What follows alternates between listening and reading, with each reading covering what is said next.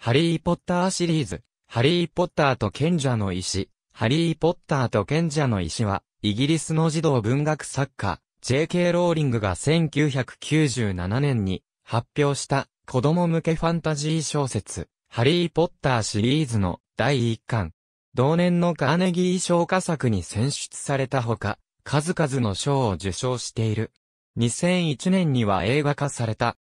10年前に両親が亡くなった後、ロンドン近郊のサレーに住むダーズリー家に引き取られていた、ハリー・ポッターは、オジバーノンと、オバペチュニアに半ば虐待とも言える扱いを受け、その息子である同い年の重慶ダドリーにもいじめられる、孤独な毎日を送っていた。しかしハリーには、追いかけてくるダドリーから、瞬間移動で逃げたり、蛇と会話して、ダドリーにけしかけたりといった、困ったことになると、何かが起きる、自分でもわからない、不思議な力があった。1991年。11歳を目前にした時、ホグワーツ魔法魔術学校から階段下の物置内を自室とするハリー宛てに入学許可証が届く。しかし、バーノンはハリーに手紙を見せず、その後も毎日徐々に枚数を増やしながら送られてくる手紙を避けるために家から逃げ出してまでハリーの魔法学校入学を阻止しようとする。しかし送り主は遠い逃亡先のホテルにさえも手紙を送ってくる。そして、ようやく人里離れた海の上の小屋を見つけて逃げ込んだ、ダーズリー一家の前に、見知らぬ大男が現れる。大男の名は、ルビウス・ハグリッド。ホグワーツの森番をしているという。ハグリッドは、ダーズリー夫妻がハリーにひた隠しにしていた、ハリーの本当の生い立ちを告げる。交通事故で亡くなったと聞かされていた両親は、実は、巧妙な魔法使いであり、当時強大な勢力を有した、史上最強とも言われる闇の魔法使い、ボルデモート教に殺害されていた。ボルデモートは、生後感もないハリーも殺そうとしたが、なぜか魔法が自身に跳ね返ったことでハリーは生き延び、ボルデモートは肉体を失って逃げ去った。ボルデモートと対峙しながら唯一逃げ延びたハリーは、魔法界で生き残った男の子として有名だった。翌日、入学に際して必要な教材を買い揃えるため、ハグリッドに連れられて、ダイアゴン横丁を訪れる。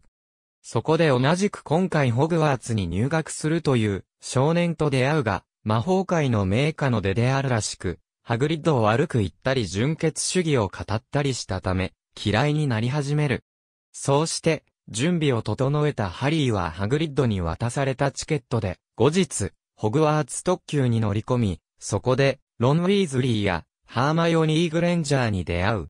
また、ダイアゴン横丁で出会った少年ドラコ・マルフォイとも、再会し、そこでも嫌味ばかりを言うマルフォイを本格的に嫌いになる。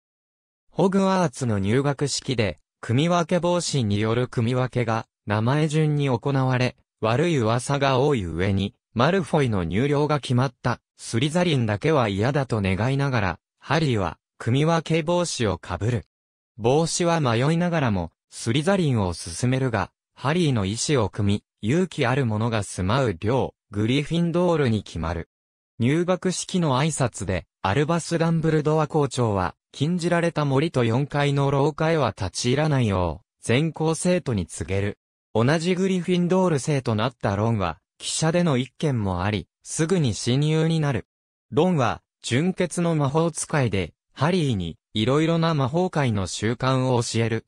一方、両親ともマグルであるが優等生のハーマイオニーとは、彼女の規則に厳格で、おせっかいとも言える性格から反りが合わない。しかし二人は、ハロウィンの日に、ハーマイオニーを助けるためにトロールを倒す。この日を境にハーマイオニーと和解し、後々まで三人は行動を共にするようになる。三人は魔法薬学の教授であるセブルス・スネープが禁じられた廊下に隠された何かを盗もうとしていると疑う。というのも、スネープはハロウィンの日のトロール騒ぎの中で一人だけ4階に向かい待ち受けていた三頭犬に足を噛まれていた。そして、ハーマイオニーによると、スネープは、ハリーの初めてのクイディッチの試合で呪文をかけて、ハリーを放棄から落とそうとしたという。だがハグリッドは、ダンブルドアの信頼を理由に、スネープを疑おうとしない上に、何かについては何も話そうとしない。三人は、図書館に足しげく通い、ハグリッドがうっかり漏らしたニコラス・フラメルのことを調べようとする。クリスマス休暇に学校に残っていたハリーは、送り主不明のプレゼントを受け取る。それは、着ると目では見えなくなる、透明マントで、ハリーの父ジェームズが所有していたものらしい。ハリーはこれを着て、深夜の図書館に行き、フラメルについて調べようとするが、魔法がかかっている金書の棚の本を開いたために、学校の管理人、アーガス・フィルチに見つかりそうになり、手近な教室へと逃げ込む。そこには、鏡があり、覗くと、ハリーの死んだ家族を映し出す。これに魅了されたハリーは翌日ロンを誘って鏡を見せるが、ロンは将来の栄光に輝く自分自身を見る。そして、三旅鏡を見に来たハリーはダンブルドアに遭遇する。ダンブルドアはその鏡が人の心の奥底の望みを映す溝の鏡であり、これに見入られて発狂した者がいたことを説明し、もう鏡を探してはいけないとハリーに忠告する。楽器が再開され、三人はようやくフラメルが、ダンブルドアの友人で著名な錬金術師であることを突き止める。唯一彼だけが所有するという賢者の石こそが学校に隠され、スネープに狙われているものだと確信する。そして、ハリーは深夜の校内でスネープが闇の魔術に対する防衛術の神経質な教師、クイリナス・クイレルを脅しているところを目撃する。クイレルは脅しに屈しなかったが、それも時間の問題に思われた。三人からそれを聞かされたハグリッドは、スネープがホグワーツの教授陣と共に守りの魔法を仕掛けたことから、スネープへの疑いをなお否定する。そして三人のもとに別の新たな問題を持ち込む。ホグズミードにある酒場、ホッグズヘッドで見知らぬ男から入手した非合法のドラゴンの卵を返し、家で隠して育てるというのだ。案の定ドラゴンは素人の手に負えない大きさになり苦境に陥る。だがロンの兄でドラゴン研究者のチャーリー・ウィーズリーとその友人のおかげで夜間にドラゴンをこっそり逃がすことに成功する。しかし、その計画を盗み聞いていたマルフォイの密告によって、夜中に校内を出歩いているところを、マルフォイモロともフィルチに捕まる。罰則として、一同と共に禁じられた森で、ハグリッドの仕事を手伝うことになった、ハリーだが、森の中でマントを着た、正体不明の者に襲われる。それは蘇りの効能があるというユニコーンの血をすすっていた。ケンタウルスのフィレンツェに辛くも助けられたハリーは、自分を襲った者が、ボルデモート教で、失った肉体を取り戻すため学校に隠された、賢者の石を狙っているとほのめかされる。ボルデモートが石を手に入れることを三人は危惧する。新旧試験の最終日、ハグリッドが酒場で、ドラゴンの卵をくれた男に、賢者の石が隠された場所を守っている三頭犬に、対処する方法を教えたことを知る。守りの秘密が完全に漏れたことを悟った、ハリーたち三人は、副校長のミネルバ・マクゴナガル教授に危険を伝えようとするが、まともに取り合ってもらえず、さらにはダンブルドアが緊急に魔法省へ呼び出されて、不在だということを聞く。ダンブルドアが不在となる、その夜を狙って、スネープが、賢者の石を盗みに入ることを三人は確信する。彼らは内通者の後を追って、ポモーナ・スプラウト教授の悪魔の罠、フィリウス、フリットウィック教授の空飛ぶ鍵などの仕掛けを突破しながら、石が隠された一室へと迫る。ロンは、途中、ミネルバ・マクゴナガル教授が仕掛けた巨大チェスという間に戦うが、ハリーを勝利に導くために自分が犠牲になって気絶する。一方ハーマイオニーは、スネープの罠である薬の論理パズルを解く。ハリーはハーマイオニーに自分が賢者の石を盗もうとしているものの後を追ったことをダンブルドアへ知らせるよう依頼し、ついに最後の部屋にたどり着く。そこで、ハリーが見たのは、スネープではなく、クイレルだった。実はクイレルこそが、ボルデモート教の内通者だった。クイレルはターバンで隠した後頭部にボルデモートを憑依させていた。クイレルはなぜか部屋に設置されていた溝の鏡から賢者の石をどうしても取り出せなかったが、ハリーが鏡を覗くと石は簡単にハリーのポケットに入る。ボルデモートはクイレルにハリーを殺させて石を奪おうとするが、クイレルはハリーの体に触れただけで体が焼けただれて死亡する。ボルデモートは憑依した人間が死んだために、再び体を持たないままの姿で消えていく。ハリーが気がつくと医務室に横たわっており、ダンブルドアが見舞いに来ていた。彼は、魔法省で、偽の呼び出しに気づいて、ホグワーツに急いで戻り、ハリーを救い出したのである。ダンブルドアは、フラメルと話し合って、賢者の石を壊したことを語る。ダンブルドアは、クイレルがハリーに触れられなかったのは、ハリーの母親であるリリーの守りの魔法のおかげであったこと、そして、クイリッチの試合でスネープはハリーを殺そうとしたのではなく、むしろ、クイレルの呪文にこうして、ハリーを救おうとしていたことなどを語る。ハリーだけが石を取り出すことに成功した理由は、溝の鏡が賢者の石を使いたいものではなく、見つけたいものの手に入るように仕組まれていたためであった。学年度末パーティーで、グリフィンドール寮は、両対後輩の駆け込みの点数として、ロンが、ホグワーツでも、稀に見るチェスのなじ合いを制したことで50点、ハーマイオニーが薬の論理パズルを解いたことや、友人の危機を救ったことで50点、ハリーが並外れた勇気と精神力を発揮したことで60点を与えられ、1位であるスリザリンと同意になる。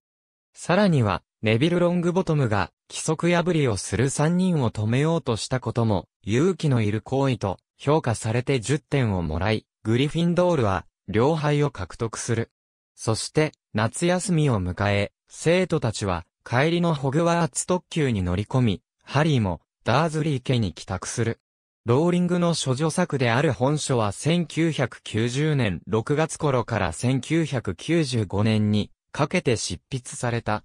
1990年、ジョー・ローリングはマンチェスターのアパートにボーイフレンドと引っ越したいと考えていた。彼女の言葉によると、アパート探しを終えたある週末、列車に乗って一人でロンドンに戻った時、ハリー・ポッターのアイデアが頭の中に降りてきたんです。痩せこけていて、小さくて、黒髪で、メガネをかけた少年が私にとって、ますます魔法使いになっていきました。私が、賢者の石を書き始めたのはまさにその夜でした。でも、最初の2、3ページは完成品とは似ても似つかぬものでした。とある。その後ローリングの母が亡くなり、その苦しみに耐えるため、ローリングは自分の苦悩をポジのハリーに転嫁した。ローリングは6年を費やして、ハリー・ポッターと賢者の一心を書き上げ、それが、ブルームズベリー社に採用された後、スコティッシュアーツカウンシルから8000ポンドの助成金を得て、続編の企画を立てることができた。彼女はその本を著作権エージェントと出版社に送り、そして2番目に声をかけたエージェントは1年をかけて出版社に売り込もうとしたが、ほとんどのエージェントは約9万語というのは長すぎると考えた。ブルームズバリー・チルドレンズ・ブックスで新人作家による個性的なファンタジー作品の品揃えを作り上げていたバリー・カニンガム社が本書の受け入れを推薦したところ、ブルームスベリー社の最高経営責任者の8歳の娘が他の何よりいいと言った。実在のキングスクロス駅にある架空の9と3、4番線を模したもの。荷物用の台車が魔法の壁を通り抜けている途中に見える。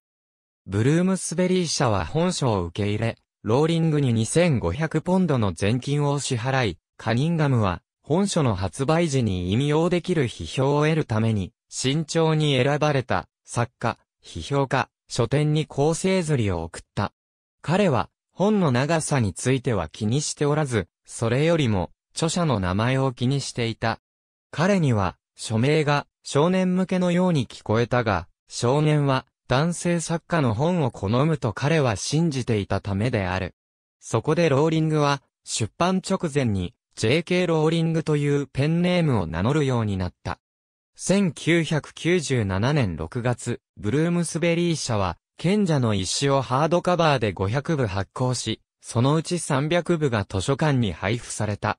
1999年9月までのすべてのイギリス版の著作権ページには、彼女の本来の名前である、ジョアン・ローリングが記載されている。書冊が少ないのは、書助作では、標準的であり、カニンガムは、書店員がこの本を読んで、お客様に勧めてくれることを期待していた。この書冊の例は、2007年のヘリテージオークションズで33,460ドルという高値で落札されている。本のカバーにすられた推薦文の一つを以前に提供していたリンジー・フレーザーは1997年6月28日付のザ・スコッツマン紙に最初に発行されたと思われる批評を書いている。彼女は、ハリー・ポッターと賢者の石を非常に面白いスリラーと記し、また、ローリングを子供のための一流作家と記した。また、ヘラルド紙に掲載された初期の批評では、この本を手放せた子供はまだ見たことがないと書かれている。スコットランド以外の新聞でも本書は注目され始め、ガーディアン紙やサンデータイムズ紙には熱烈な批評が掲載され、1997年9月には、児童書専門誌、 Books for Keeps がこの小説に5つ星のうちの4つ、星をつけた。サンデータイムズ紙は、ダールとの比較は、今回、理にかなっていると述べ、また、ガーディアン紙は、創意に富んだ知力で放たれた、豊かな質感のある小説とみなし、そして、ザ・スコッツマン紙は、傑作のすべての資質があると述べた。1997年、イギリス版は、 British Book Awards と、 Nestlé Smarties Book Prize の9歳から11歳の部で、金メダルを受賞した。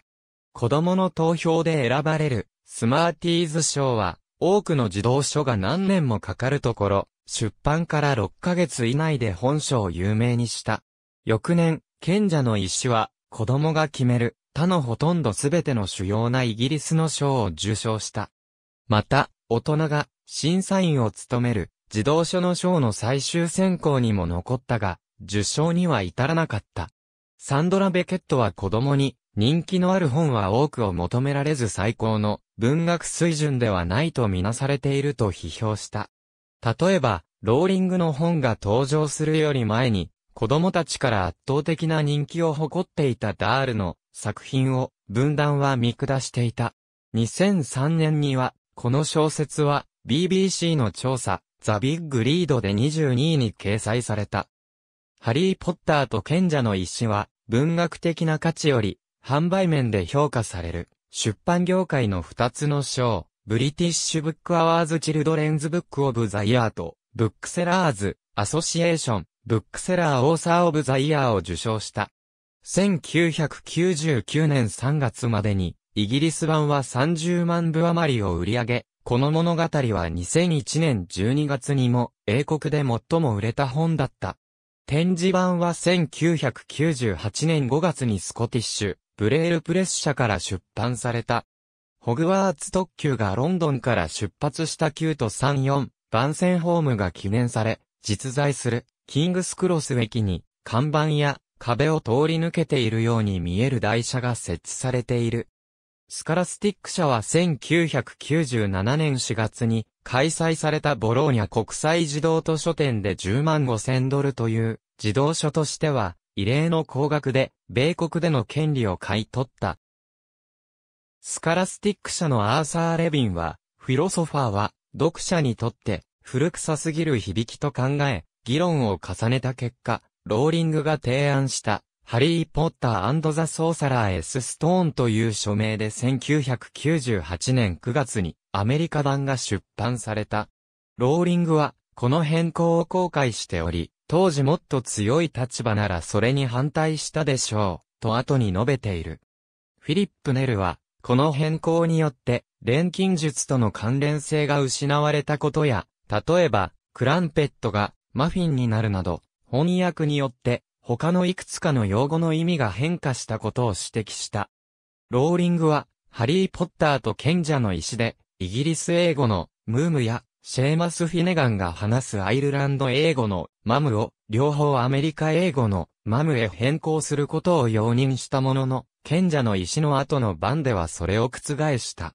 しかしネルは、スカラスティック社の翻訳は、当時のイギリス英語の書籍に行われた多くの翻訳よりもかなり繊細で、他のいくつかの変更は有益なコピーエディットとみなせると考えていた。シリーズ初期のイギリス版は、アメリカ版の数ヶ月前に発行されていたため、アメリカの読者の中には、オンラインショップから購入し、イギリス英語版に慣れ親しむ人もいた。当初、最も権威のある批評家たちは本書を無視し、カーカスレビューや、ブックリストなどの出版業界や、図書館の広報に委ねて、児童向け小説の娯楽志向の基準でしか本書を検討しなかった。しかし、より洞察力のある専門家の批評は、大手新聞社の批評家の注目を集めた。ボストングローブ紙や、ニューヨークタイムズ紙のマイケル・アイネリップ氏は、最後の章がこの本の最も弱い部分だと不満を述べたが、彼らをはじめアメリカのほとんどの批評家は、本書を熱烈に称賛した。その1年後、アメリカ版は、 American Library Association Notable Book, Publishers Weekly 1998 Best Book of the Year, New York Public Library 1998 Best Book of the Year に選ばれ、 Parenting Magazine の、 Book of the Year Award for 1998, School Library Journal Best Book of the Year, American Library Association、Best Books for Young Adults を受賞した。1999年8月、 Harry Potter the Sorcerer's Stone は、ニューヨークタイムズ紙のベストセラー小説リストで1位になり、自分たちの本が上位に入るのを見たいと熱望していた他の出版社からの圧力により、ニューヨークタイムズ紙がリストを子供向けと大人向けに分割するまで、1999年から2000年の大半でリストの上位に居続けた。パブリッシャーズ・ウィークリー誌が2001年12月に発表した児童小説の累積売上高についての報道では、 Harry Potter the Sorcerer's Stone は、ハードカバーの中で19位、ペーパーバックの中で7位である。2008年5月、スカラスティック社は、最初のアメリカ版の発売10周年を機に、2008年10月1日に発売された本書の10周年記念版の制作を発表した。本書の15周年に際して、スカラスティック社は、カズキブイ氏が描く新しいカバーアートとともに、2013年にソーサラー S ストーンを他の6作品と一緒に再発売した。2008年半ばまでに67の言語で公式翻訳版が出版された。2017年11月までに、本書は80の言語に翻訳され、80番目は、スコットランド定地語になった。ブルームスベリー社は、ラテン語と古代ギリシア語の翻訳版を出版しており、後者は、何、世紀にもわたって書かれた古代ギリシア語の3分のうちの、最も重要な作品の一つと言われている。米国の児童文学学者である、フィリップ・ネルは、ローリングが12歳の時から、とても尊敬していたジェイン・オースティンの影響を強調した。どちらの小説家も再読を強く進めている。なぜならば、取るに足らないことに見える一つ一つが、物語のかなり後の重要な出来事や、登場人物の伏線となっているからである。例えば、シリウス・ブラックは、ハリー・ポッターと賢者の石の冒頭で簡単に触れられているが、3巻から5巻では主要な登場人物になっている。オースティンのヒロインのように、ハリーは本の終わりに自分の考えを見直さなければならないことがよくある。ハリー・ポッターの本の中のいくつかの社会的行動は、手紙をみんなで読んで盛り上がるなど、オースティンを連想させる。どちらの作家も、社会的行動を風刺し、登場人物に人柄を表す名前をつけている。しかしネルの意見では、ローリングのユーモアは大きく、カリカチュアに基づいており、彼女が考案した名前は、チャールズ・ディケンズの物語に見られるようなものであるという。また、ホリンズ大学英語教授であるアマンダ・コックレルは、それらの多くは古代ローマ神話から18世紀のドイツ文学に至るまでの隠入によって、それらの持ち主の特徴を表現していると指摘した。ナルニア国物語シリーズの作者である C.S. ルイスのように、ローリングは児童向けの物語と大人向けの物語の間に厳密な区別はないと考えている。ネルもまた、多くの優れた児童文学作家のように、ローリングはファンタジー、ヤングアダルト小説、寄宿学校の物語、教養小説や、その他多くの文学のジャンルを組み合わせていると指摘した。一部の批評家は、賢者の石を1990年に亡くなったロワルド・ダールの物語と比較した。1970年代以降、多くの作家が彼の後継者としてもてはやされたが、子供たちからの人気は彼に及ばず、賢者の石が発売直後に行われた調査では、最も人気のある児童書10冊のうちで、1位の作品を含み7冊が、ダールの作品だった。1990年代後半に人気を博した、その他の児童文学作家は、アメリカの R.L. スタインだけだった。賢者の石の物語のいくつかの要素は、ダールの物語の一部と共通点がある。例えば、お化け桃の冒険の主人公は両親を失い、ハリーを召使いのように扱っていた、ダーズリー夫妻に似た太っちょと痩せっぽちの不愉快な二人の、おばと住まなければならなかった。しかしハリー・ポッターは、子供のままで、大人の責任を負うことのできる、独特の作品だった。図書館員のナンシー・ナップとマーケティング学教授のスティーブン・ブラウンは、特に、ダイアゴン横丁のような店の場面の描写が、生き生きとして細かいと指摘した。タッド・ブレナンは、ローリングの文章は、ホメーロスの文章、早く、明白、かつ、単刀直入な表現に似ていると論評した。スティーブン・キングは、イギリスのファンタジー作家ならではの一種の遊び心のあるディティールと称賛し、ローリングが笑いを楽しんだ後、素早く前に進んでいくから、それらは機能していると結論付けた。サセックス大学の名誉上級講師であるニコラス・タッカーは、初期のハリー・ポッターについて、ビクトリア朝やエドワード朝の児童文学を彷彿とさせるものと述べている。ホグワーツは旧式の寄宿学校であり、教師は生徒を名字で礼儀正しく呼びかけ、自分に関連する量の評判をとても気にしていた。ダーズリー家をはじめ、登場人物の性格は外見にはっきりと現れており、アーガス・フィルチの飼い猫ミセス、ノリスなど、不道徳あるいは悪意のある登場人物は改心するのではなく、打ち砕かれるものだった。また主人公は、虐待された孤児だが、本当の居場所を見つけ、カリスマ性があり、スポーツが得意で、弱者を思いやり守る心を持っていた。その他一部の解説者は、この本は、多くの社会的固定観念を含む高度に、階層化された社会を表現していると述べた。しかしカリン・ウェスターマンは1990年代のイギリスとの類似性について示している。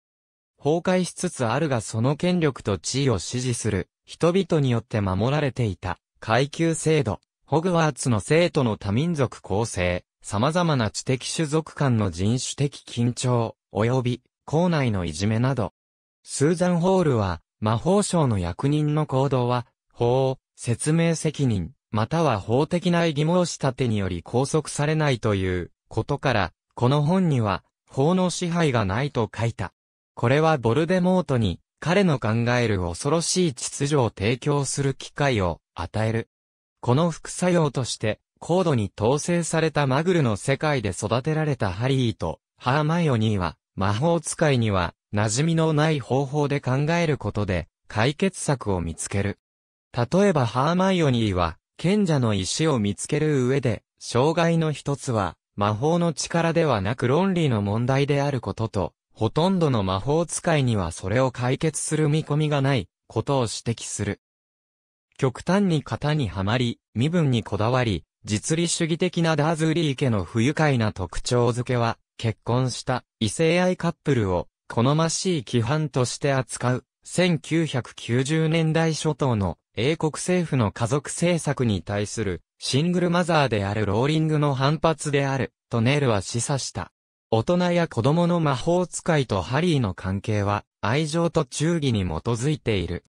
このことはシリーズを通して彼が一時的にウィズリー一家の一員になるときはいつでも幸せでいることや最初はルビウス・ハグリッドを後にリーマス・ルーピンやシリウス・ブラックを彼の父親代わりのように扱うことに反映されている。魔法ワールドハリー・ポッター・ハリー・ポッターと賢者の石2001年に、ワーナー・ブラザース制作で映画化された。配役にはすべて、イギリス人俳優を起用している。第74回アカデミー賞では3つの賞において、ノミネートされた。この映画の現代が、ハリー・ポッターザ・フィラソファーズ・ストーンでないのは、アメリカにおいては、原作本のタイトルが、ソーサラー S に変更されて出版されたことに基づく。ただし、英国版を含む国際版のタイトルは、現代通り、フィラソファーズに入れ替えられている。作中で、賢者の石と発する場面と、賢者の石を調べる場面は、ソーサラー S と、フィラソファーズの2通り撮影された。当初、監督に、スティーブン・スピルバーグ、ハリー役に、ハーレー、ジョエル・オスメントが、候補として挙げられていたが、スピルバーグは考慮はしたものの最終的に受諾しなかった。原作者の J.K. ローリングが反対したことが理由とも噂されたが、ローリング自身が公式サイトでこれを否定している。スピルバーグと本作品の監督コロンバスは指定関係である。コロンバスは子役の選定において自身の監督作、ホームアローンに出演したマコーレー・カルキンの両親がカルキンの稼いだギャラをめぐって裁判を起こしたことに学び、今作では両親もどんな人物かを考慮して選定した。日本での興行成績は、千と千尋の神隠し、タイタニックに次ぐ第3位を記録した。後に、アナと雪の女王、君の名は、劇場版鬼滅の刃無限列車編に抜かれ、第6位となる。特典ディスク付きの DVD には、未公開シーンが収録されている。チェスをするシーンで使っている駒は、ルイス島のチェスゴマである。企画1997年、プロデューサーのデビッド・ハイマンは、高い評価の映画にできる児童書を探していた。ハイマンは、ダイアナ・ウィン・ジョーンズの小説、うちの一階には、鬼がいる。の制作を企画していたが、その計画は流れた。そこで、ヘイデーフィルムズのハイマンのスタッフは、ハリー・ポッターと賢者の石を提案し、彼のアシスタントは、クールなアイデアと考えた。ハイマンは、このアイデアを、ワーナーブラザースに売り込み、1999年に、ローリングは、ハリー・ポッターの最初の4冊の権利を同社に売却した。売却額は100万ポンドと言われている。ローリングがハイマンに強く求めたのは、厳密にイギリス人とアイルランド人の配役を守ることだった。後者としては、ダンブルドア役のリチャード・ハリスや、ペチュニア・ダーズリー役のフィオナ・ショーが起用され、ハリー・ポッターと炎のゴブレットで原作の登場人物が、フランス人や東欧人を指定されている場合に、そのように俳優が起用されているように、絶対に必要である場合を除いて、外国人俳優は選ばれなかった。ローリングは登場人物の権利を売ることで、作者の書いていない続編をワーナーブラザースが作れるようになり、物語の残りの部分を彼らに支配されたくなかったため、権利の売却をためらっていた。当初は、スティーブン・スピルバーグに監督を交渉していたが、スピルバーグは辞退した。伝えられるところによると、スピルバーグは、アメリカ人俳優のハーレー、ジョエル・オスメントが、ハリー・ポッターの声で出演するアニメーション映画にするか、または原作の続きの要素も取り入れた映画にしたいと考えていたという。スピルバーグはそれは、孫の中のアヒルを打つようなもの。ただのスラムダンク。10億ドルを引き落として、個人の銀行口座に入れるようなもので、何の挑戦もありません。と強く主張した。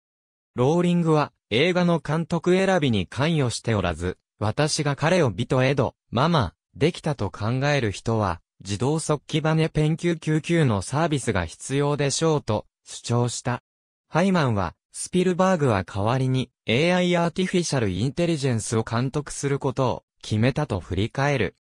ハリーポッターは一生に一度の普及の文学的功績です。世界中で熱狂的ファンを生んでいる作品だけに、子供と魔法の両方に親近感のある監督を見つけることが重要でした。この仕事に、クリス以上に理想的な人は考えられません。ロレンツォ・ディボナベンチュラ・スピルバーグと別れた後、他の監督たちとの話し合いが始まった。そこには、クリス・コロンバス、テリー・ギリアム、ジョナサン・デミ、マイク・ニューウェル、アラン・パーカー、ウォルフガング・ペーターゼン、ロブ・ライナー、アイバン・ライトマン、ティム・ロビンス、ブラッド・シルバーリング、エム・ナイト・シャマラン、ピーター・ウィアーといった人たちがいる。ペーターゼンとライナーは2000年3月に共に候補から外れ、候補は、シルバーリング、コロンバス、パーカー、ギリアムに絞られた。ローリングが最初に選んだ監督は、テリー・ギリアムだったが、ワーナー・ブラザースは、コロンバスを選んだ。コロンバスが、ホームアローンや、ミセス・ダウトといったファミリー映画を手掛けたことが決定に影響したという。コロンバスは、マグルの場面は、殺風景で陰気にしたいが、魔法の世界では、色、雰囲気や細部に深くこだわったものに設定したいと述べ、2時間にわたってこの映画にかける自身のビジョンを売り込んだ。コロンバスはデビッド・リーンの映画、大いなる遺産やオリバ・ツイストから刺激を受け、あの暗がり、あの鋭さ、素晴らしい撮影を使いたいと思い、さらに、オリバーやゴッドファーザーの色彩設計からも触発された。脚本にはスティーブ・クローブスが選ばれた。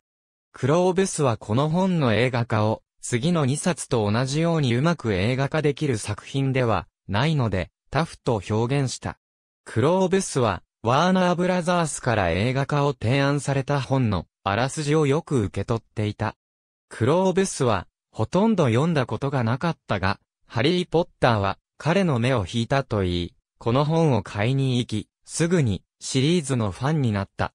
ワーナーブラザースとの話の時に、クローブスは、この映画は、イギリスのものでなければならないし、登場人物たちに忠実でなければならない。と述べた。ローリングに初めて会った時、クローブスは、彼女の宝物を破壊するとローリングに思わせたくなかったので、緊張していた。ローリングは、このスティーブ・クローブスを嫌いになる用意はできていましたと認めつつ、彼との初めての出会いを思い出した。彼に初めて会った時、彼は私に言ったの。私が一番好きな登場人物が誰かわかりますか？と。ロンって言うんだろうなと思いました。ロンというつもりなのはわかる。でも彼は、ハーマイオニーって言ったのです。私は少し和みました。ローリングは、コロンバスが気にしない取り決めで、大きい創造的な権限を与えられていた。ワーナーブラザースは、当初、2001年7月4日の週末に映画を公開することを予定しており、あまりにも短い制作期間のため複数の監督候補が辞退した。しかし時間的な制約から公開日は2001年11月16日に延期された。配役ローリングは配役をイギリス人にすることを強く求めた。スージー・フィギスがキャスティングディレクターに任命され、コロンバスとローリングの両名と協力し、主役のハリー、ロン、ハーマイオニーのオーディションを行った。主要3役について、イギリス人の子供たちだけを対象とした公開キャスティングコールが行われた。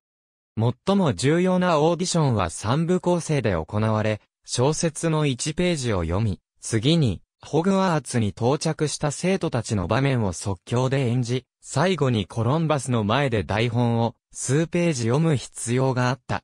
1985年の映画、ヤング・シャーロック、ピラミッドの謎のためコロンバスが書いた脚本の場面も、オーディションで使われた。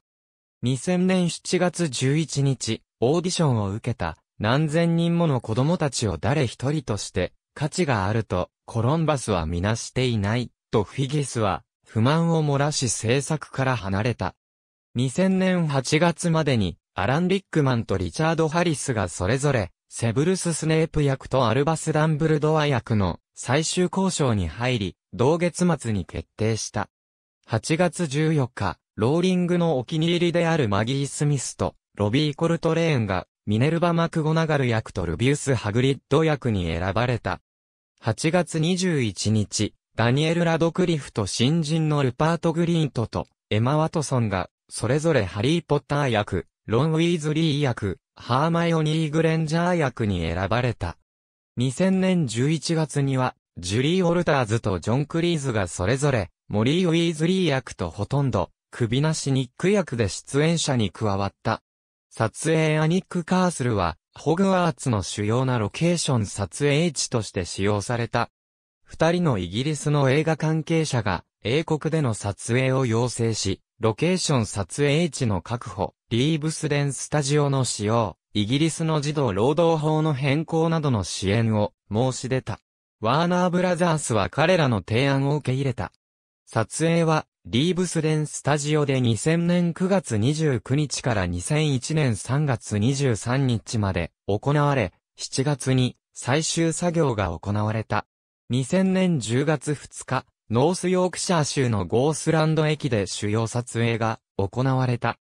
カンタベリー大聖堂とスコットランドのインベライロルと、ジョーが、ホグワーツのロケーション撮影地候補として上がっていたが、カンタベリー大聖堂は、映画のテーマが、異教徒であることを懸念して、ワーナーブラザースの提案を断った。最終的には、アニック・カースルとグロスター大聖堂が、ホグワーツの主要なロケーション撮影地として選ばれ、一部の場面はハロースクールでも撮影された。その他に、ホグワーツの場面がダラム大聖堂で2週間にわたって撮影され、廊下や教室の場面が撮影された。オックスフォード大学の進学部がホグワーツの病院棟として使われ、ボドリアン図書館の一部であるハンフリーコーズ書館がホグワーツ図書館として使われた。プリベット通りの撮影は、バークシャー州、ブラックネルのピケポストクローズで行われた。ピケポストクローズでの撮影は、予定していた1日ではなく2日かかったため、ピケポストクローズの住民への支払いもそれに応じて、増えた。プリベット通りに設定されたその後の場面は、リーブスデンスタジオで作られたセットで撮影され、ロケでの撮影より安く済むことが証明された。ロンドンのオーストラリアハウスがグリーンゴッツ魔法銀行のロケーション撮影地として選ばれ、オックスフォード大学、クライストチャーチがホグワーツのトロフィールームに選ばれた。ロンドン動物園はハリーが誤ってダドリーに蛇をけしかける場面のロケーション撮影地として使われ、キングスクロス駅も本で指定されている通り使われた。モレナベの外観として使われたロンドンの店舗。アメリカでは署名が異なるため、俳優が賢者の石をフィラソファーズと名前で言っている場面はすべてソーサラーエスと取り直す必要があった。子供たちは4時間の撮影の後、学校の勉強を3時間した。彼らはメイクアップスタッフが顔に施す偽の怪我を好きになった。ラドクリフの目はハリーのように緑ではなく青いため、当初は緑のコンタクトレンズをつけるつもりだったが、ラドクリフはこのレンズに強い苛立ちを覚えた。そこで、ローリングとの相談した結果、ハリーの目は青くてもいいということになった。デザインと特殊効果ジュディアンナ・マコフスキーが衣装デザイナーを務めた。クイディッチのローブは、当初アメリカ版の本の表紙に掲載されていたものを使う予定だったが、彼女はこれをだらしないと判断し、デザインを変更した。代わりに彼女は、クイディッチの選手に、名門私立校風のセーター、19世紀のフェンシング用ブリーチとアームガードを着せた。プロダクションデザイナーのスチュワート・クレイグは、イギリスの多くの大聖堂に基づいて、ホグワーツの大広間などのセットをリーブスデンスタジオに作り上げた。もともと、ダイアゴン横丁の撮影には既存の古い通りを使うように頼まれていたが、クレイグは、チューダー様式、ジョージアン様式、クイーン、アン様式の建物からなる、独自のセットを作ることにした。もともと、コロンバスはフラッフィーなどの魔法生物を作るため、アニマトロニクスと CG アニメーション両方使うことを計画していた。スターウォーズエピソード1、ファントムメナスを手掛けたニック・ダッドマンは、必要な特殊造形の制作を任され、ジム・ヘンソンズ・クリーチャーショップが、クリーチャー造形を提供した。ジョン・コッピンジャーは、想像する必要がある。魔法生物は何度もデザインされなければならないと述べている。この映画は600近い特殊効果が使われており、多くの企業が関わっている。インダストリアルライトマジック社は、クイレルの後頭部に、ボルデモート卿の顔を作り、リズムヒューズスタジオは、ノーバートのアニメーションを、ソニーピクチャーズ、イメージワークスは、クイディッチの場面を制作した。音楽ジョン・ウィリアムズが作曲を担当した。作曲には、ジョン・ウィリアムズが選ばれた。ウィリアムズは、2001年9月に、ロンドンで録音する前に、ロサンゼルスとタングルウッドの自宅で作曲した。メインテーマの一つは、ヘドウィグのテーマと題された。ウィリアムズは完成した楽譜にみんなが気に入っているようだったと残し、シリーズを通して繰り返し使われるテーマとなった。作曲に最初に選ばれたのは、ジェームズ・ホーナーだったが断られた。サウンドトラックアルバムが2001年10月30日に CD 形式で発売された。コロンバスは細部が正しいことを確認するため、ローリングに繰り返し相談した。クローブスはこの映画が原作本に本当に忠実であると述べている。彼はローリングが認めたセリフを追加した。当初入れられていたセリフの一つについては、ローリングが当時未発表のハリーポッター第5作、ハリーポッターと不死鳥の騎士団の出来事と直接矛盾すると言ったため、削除しなければならなかった。映画版からは一部の配役が削除されており、中でもポルターガイストのピーブズは、俳優のリック・メイヨールが演じたが、彼のシーンは、最終的に映画からカットされ公開されることは、なかった。バーノン・ダーズリーとペチュニア・ダーズリーの視点で語られる、原作本の最初の章は映画にはない。ハリーとドラコの、マダム・マルキンの洋装店での最初の出会いと、真夜中の決闘は映画には登場しない。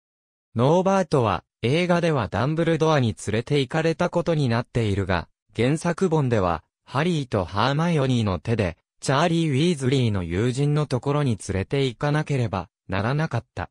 クローブスによれば、原作本の中で簡単に変更できると感じた部分だったという。その結果、禁じられた森での居残りの罰の理由が変更された。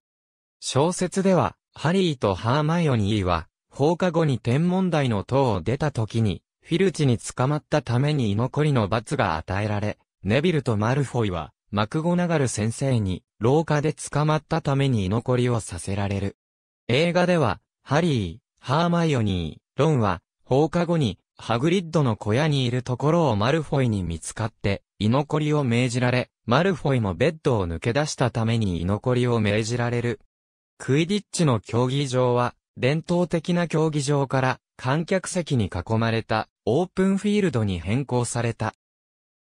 映画では原作本の時系列は強制されていない。原作本ではハリーの11歳の誕生日は1991年である。プリベット通り4番地の映画のセットでは、ダドリーの小学校からの証明書には2001年と書かれている。日本ではワーナーブラザースホームエンターテイメントより、ブルーレイ、DVD が発売。ハリーポッターと賢者の石が、エレクトロニックアーツより発売された。プレイステーション版は、アルゴノートゲームスが開発。日本国内では、2001年より、順にソフトが展開。シリーズの映画化に合わせて廉価版画も発売されている。第一巻当初より、ストーリー中盤で行われる魔法使いのスポーツ、クイディッチを題材にした、ハリーポッタークイディッチワールドカップも発売されている。Windows、Nintendo ゲームキューブ、ゲームボーイアドバンス、プレイステーションにより2003年にリリース。こちらもメーカーは、エレクトロニックアーツ。テレビゲームに限らず、カードゲーム、ボードゲーム等も発売。カードゲームではないが、劇場映画が、題材のトレーディングカードもアートボックスが取り扱った。ブロックのおもちゃで知られるレゴでも販売されている。関連書籍に含まれるが、デアゴスティーニジャパンより、ハリーポッターチェスコレクションなども出版され、隔週刊で全47号が刊行。また、2001年から2003年に放送されたテレビアニメ、星のカービィの第38話、読むぞい。驚異のミリオンセラーが本作のパロディとなっている。主なパロディ要素は作中において、ミリオンセラーの小説、パピー・ポッティと愚者の石、ホグワーツを模した魔法学校、原作者、ローリン先生、ほうきに乗って、ボールを棒で飛ばすスポーツなど。2018年4月には、ジャムシティが、ロールプレイングゲーム、ハリー・ポッター、ホグワーツの謎のスマートフォン向けアプリケーションを開始した。ハリー・ポッター、魔法同盟が、2019年6月21日に、ナイアンティックによってリリースされた。拡張現実モバイルゲーム、ポケモン GO のハリー・ポッター版であると言える。ありがとうございます。